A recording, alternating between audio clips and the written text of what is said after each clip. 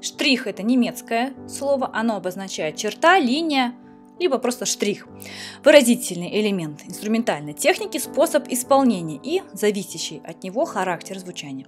Штрихи определяют характер, определяют тембр, атаку и другие характеристики звучания, а значит и те образы, которые создает сама музыка. Основные типы штрихов определились в практике игры на струнных смычковых инструментах, прежде всего на скрипке, а их принципы и названия в дальнейшем уже были перенесены на другие виды исполнительства. А теперь подробнее. Штрихи обозначаются в нотах при помощи разнообразных точек, черточек и прочих знаков над или под нотами. Штрихи характеризуются следующими параметрами. Это продолжительность, особенности атаки, характеристики затухания и другие особенности звучания звука. В большинстве случаев штрих относится к одной отдельной ноте и изменяет ее реальную продолжительность в отличие от длительности, которая часто указывает только на время между атаками звуков. Итак, начнем с легата. Легата – это линия, в виде дуги, начинающаяся от ноты, говорит о том, что звук нужно исполнять легато, то есть связано, то есть взять со средней или мягкой атакой и не снимать, пока он не перейдет в следующий звук. Штрих также указывается лигой. В последнем случае имеется в виду, что все звуки играются этим штрихом, пока не закончится раздел в музыке или не будет иного указания. Если звук имеет мягкую атаку без дополнительного обозначения, то в данном случае это нон-легато. Нон-легато значит не связано. Штрих нон-легато может быть также обозначен словами, но чаще всего на него указывают просто э, отсутствие каких-либо указаний и обозначений. Это единственный штрих, не имеющий собственного знака.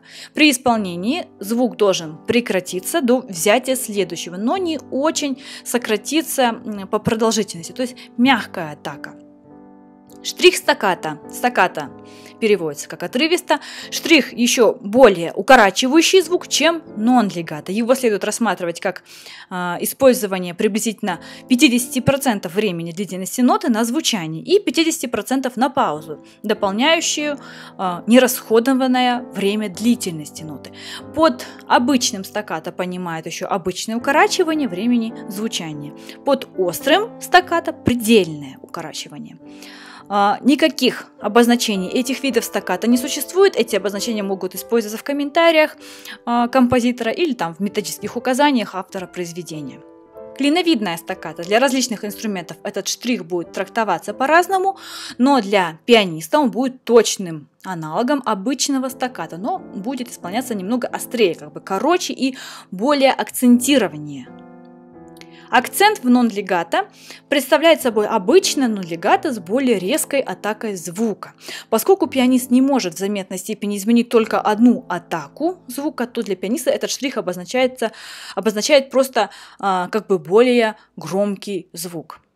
Тянута – это итальянское слово от итальянского тенере – держать. Обозначается горизонтальной черточкой, то есть таким вот видом штриха. Обозначает точно выдержанную длительность ноты, при этом необходимость отделить звук от соседних вынуждает немного как бы превысить обозначенную длительность, немного даже нарушить а, ее равномерность метрической пульсации. Фермата – это остановка. В Италии вы можете, кстати, встретить это слово на остановке автобуса. Не совсем корректно относить фермата, фермата э, к штрихам, но поскольку производители компьютерного софта обычно помещает знак фермата э, в одно меню со штрихами, это стало как бы вполне уже логичным. Фермата обозначает увеличение продолжительности ноты или паузы. Величина точно не нормируется и определяется уже исполнителем, а, в зависимости от характера произведения. Остановка на звуки происходит одним из двух способов. Либо сохранением темпа, либо сохранением длительности. То есть темп начинает замедляться немножко раньше, но это становится сам, самой медленной по темпу впоследствии, но сохраняющей исходное количество долей. А если еще перед ферматой стоит надпись «замедлить», там «ретинута», «ретарданда», «ралентанда», то используется второй способ, то есть, о котором я говорила, сохранением длительности. Темп начинает замедляться раньше. А во всех остальных случаях используется первый. Первый способ. Иногда встречается знак фермата э, над тактовой черточкой для обозначения люфта перед началом нового раздела музыки. Французская лига. Лига, которая появилась в музыке у импрессионистов. Эта лига начинается от ноты и уходит в никуда. Такая лига должна плавно соединить звуки с тишиной. Добиться этого можно только дослушав до конца естественное угасание звука. Для исполнения следует нажать правую педаль и не снимать, пока звуки не затихнут ниже порога слышимости.